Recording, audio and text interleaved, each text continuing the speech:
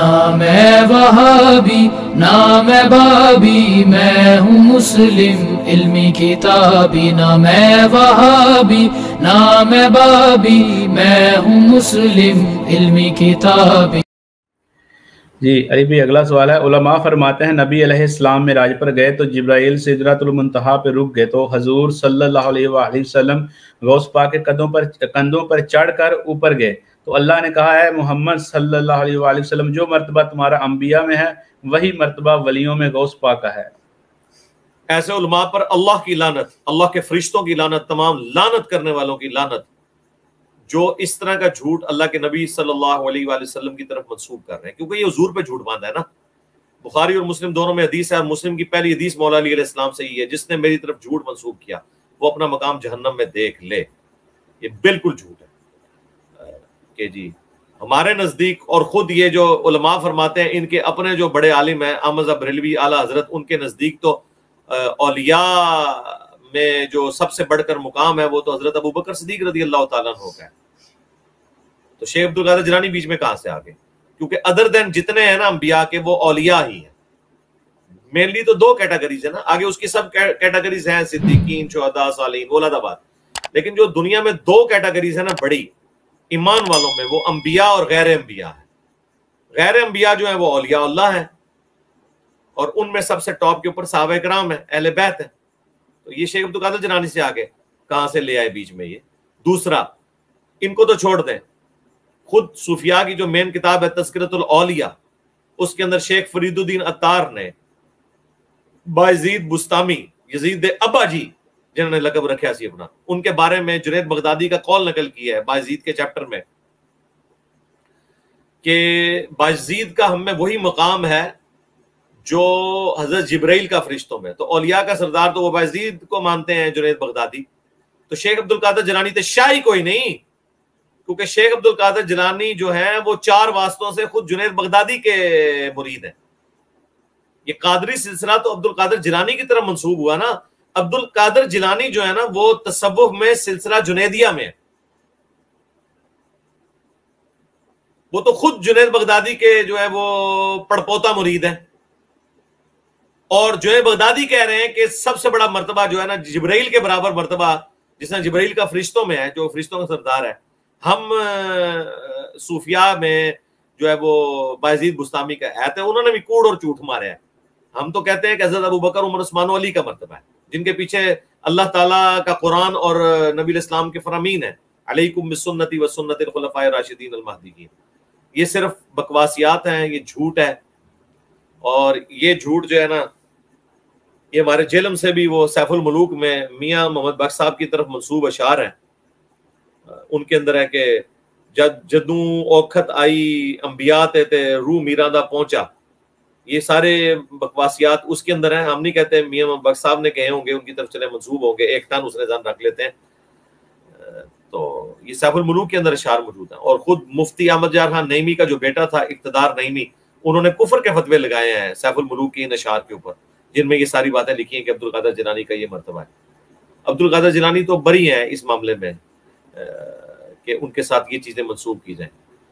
ये खाम खा लोगों ने मनसूब कर दिए मैं बिल्कुल झूठ है। अल्लाह ताला इनको हदायत दे। इन लोगों ने साहबा अहल बैत को छोड़ के इन बाबों के साथ वो अकीदे वाबस्ता कर लिए। तो फिर हर जमाने के अंदर फिर एक लादा मामला होगा। फिर मशहूर किया हुआ जी, शेख तो कादर जरानी फरमाते हैं कि जी, तमाम ओलिया की गर्दन पे मेरा पाँव है, जिसके गर्दन पे मेरा पाँव नहीं, उसकी गर्दन पे खिंजीर का पाँव। और कादरी आगे कह रहे होते हैं सुबह अल्लाह।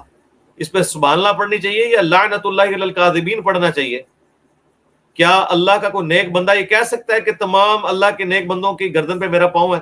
क्या कभी हज़रत अबू बकर, उमर, उस्मान, अली ने कहा है कि तमाम उम्मत की गर्दन पे हमारा पाँव है, तमाम साहबा की गर्दन पे हमारा पाँव है? वो तो कह भी सकते थे बिसुन्नती वसुन्नत खुलफाए राशिदीन अलमहदीन सुन्नबी इब्न माजा में हदीस है। उन्होंने कभी ज़रूरत नहीं की, उन्हें पता था, ये मुतकबराना जुमले तो इसके ऊपर ये सुबह पढ़ रहे होते हैं।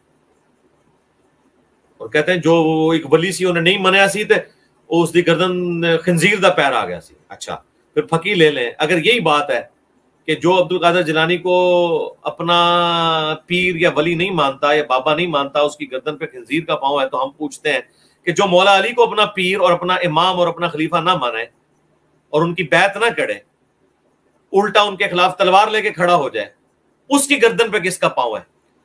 टाइम क्यामत तक जे इस गल का जवाब देना जे।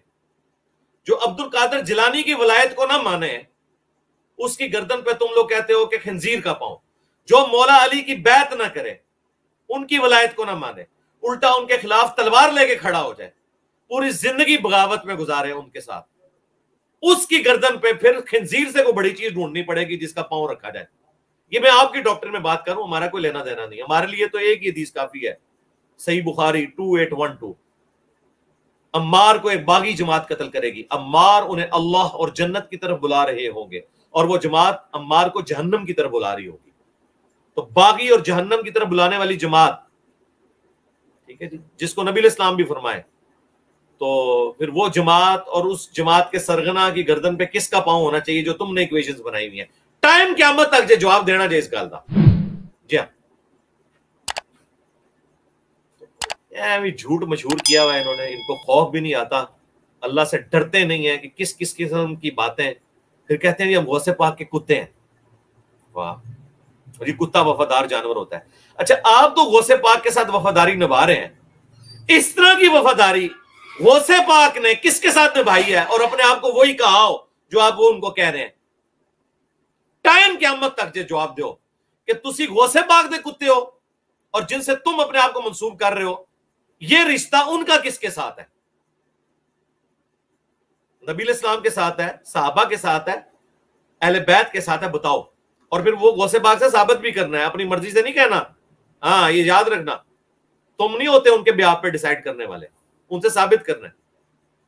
टाइम क्या तक जवाब दो। कुत्ता जो है वफादार जानवर है, इसलिए हम कहते हैं। तो ठीक है ना, शेख अब्दुल कादिर जनान भी तो किसी के वफादार है ना, बताओ ना, किसके हैं वो?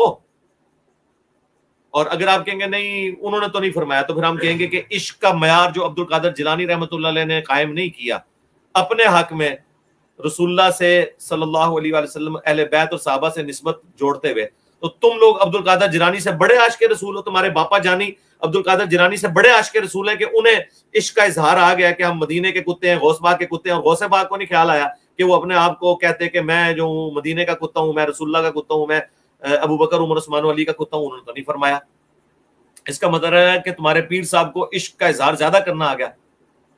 टाइम क्या मत तक जवाब देना चाहिए देखिए हमारा कितना ज़िक्र है। बाकी लोग तो कहते हैं चौबीस घंटे में जवाब ना आया तो हम जीत गए, एक हफ़्ते में जवाब ना आया तो हम कहते हैं क्या मत तक टाइम दे सारे ज़िंदा मुर्दा इकट्ठे कर लो।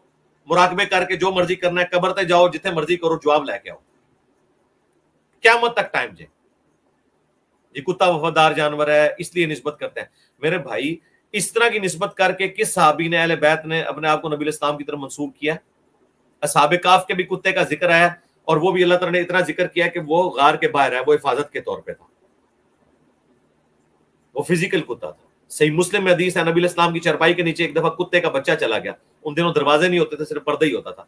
तो जबरील इस्लाम वादे के मुताबिक नहीं आए। और उन्होंने कहा यार घर से बाहर कि अपनी चारपाई के नीचे से कुत्ता निकालें। मदीने का कुत्ता, ओरिजिनल मदीने का कुत्ता, हजूर की चारपाई के नीचे और रिश्ते नहीं आ रहे। और जो ये वाले कुत्ते हैं तो वो, नहीं नहीं, हम वो वाले कुत्ता मिसाल नहीं देते, वो तो नजस होता है। हम सिर्फ़ कुत्ते की वफादारी ले रहे हैं, जिस तरह के मौला अली के बारे में आया सही मुस्लिम के अंदर के, उन्होंने मरहब को कहा था कि अल्लाह की तरफ़ से जब लड़ने के लिए आए और वो काफरों की तरफ़ से लड़ने के लिए आया तो उसने शार पढ़े, मैं मरहब हूँ और पूरा खैबर मुझे जानता है। तो मौला अली ने कहा कि मेरे नाम मेरी माँ ने हैदर रखा है। मैं शेर की तरह जो है वो वार करता हूँ, एक वार में उसे जन्म हासिल किया। तो कहते हैं, जी, देखें, मौला अली भी तो शेर थे ना। शेर भी तो नजस है, वो भी दरिंदा है। तो वो मिसाल तो दी। सरकार शेर की जब मिसाल आ गई, या इस तरीके से अलमुस्तल हाकिम में हमजा इबन अब्दुल मुत्तलिब के बारे में आई कि हमजा अल्लाह और उसके रसूल का शेर है। ये वो नस्बत है जो अल्लाह के नबी इस्लाम ने खुद दे दी, मौला अली ने खुद दे दी। शेर आप कहें, बिल्कुल हम मानेंगे। कुत्ता कहाँ से निस्बत इस तरह की दी? कुत्ते की मिसाल तो एक असाबे काफ वाली आई, वो भी नहीं इस तरह। बाकी तो जितनी मिसाल आई, वो तो उलमसू के लिए आई। सुन नबी दाऊद में हदीस है कि मेरी उम्मत में ऐसे फिरके पैदा होंगे कि उनमें ऐसी बिदात जारी हो जाएँगी जिस तरह हल्का कुत्ता काट जाए ना और एक एक रगो रेशे तक उसका असर पहुँच जाए। ये हल्का कुत्ता कौन सा है जो काट के बिदात जारी करता है? कोई खिलाड़ी होता है? बताएँ। कोई शायर होता है? नहीं। उलमा उलमा सू, वो काट जाते हैं हल्के कुत्ते। अबू दाऊद में सू को कुत्ते की मिसाल। और कुरान में सूरत अराफ की आयत नंबर 175 और 176 में बलाम बिन बाउरा या बाज उसको प्रोनाउंस करते हैं बलाम बिन बाऊरा। यहूदी आलिम की मिसाल अल्लाह ने कुत्ते की दी, कि चाहे इसके इस पर कोई चीज़ डाली जाए, तब भी ये ज़ुबान हाँपता है। ना डाली जाए, तब भी ज़ुबान हाँपता है, यानी लालच। हदीस में भी कुत्ते की मिसाल, कुरान में भी कुत्ते की मिसाल आई उलमा सू के लिए। तो अगर आप ये कहते हैं ना कि हमारे उलमा या हम फलां के कुत्ते हैं तो फिर आप वो वाली मिसाल लेंगे। तो शेर वाली मिसाल नहीं बनती। शेर की बहादुरी का ज़िक्र तो आ गया।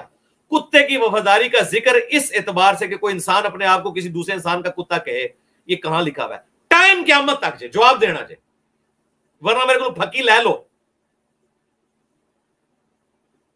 फिर आपके बच्चों को, उनके दोस्तों को चाहिए कि कहें, यानी हमें तो कह सकते हैं, शेर का पुत्र। या हमारे बच्चों को कि शेर का पुत्र। तो थोड़े बच्चे के कह कुत्ते का पुत्र। कह ना?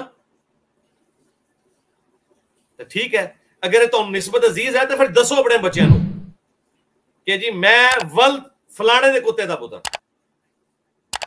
क्या मत तक जो जवाब देना चाहिए